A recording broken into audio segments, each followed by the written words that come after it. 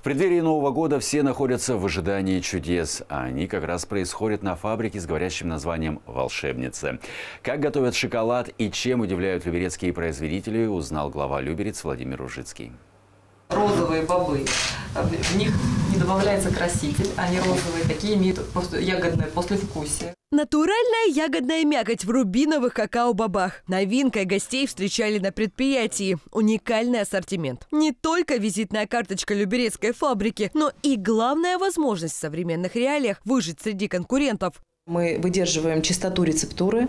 А, в нашем шоколаде только натуральное какао-масло, натуральное какао тертое. И а, состав а, и содержание этих какао-продуктов самое высокое. Не просто, но мы это делаем. Благодаря в том числе и добросовестному отношению к делу, люберецкие шоколадье работают уже 24 года. Сегодня фабрика насчитывает почти 200 наименований продукции. Выбрать могут и те, кто любит фруктовые начинки, и те, кто следит за фигурой. Три тысячи тонн. Именно столько в год производит волшебница. Половина из этого – плиточный шоколад. Сезон, а это с августа по февраль, этот конвейер не останавливается ни на минуту.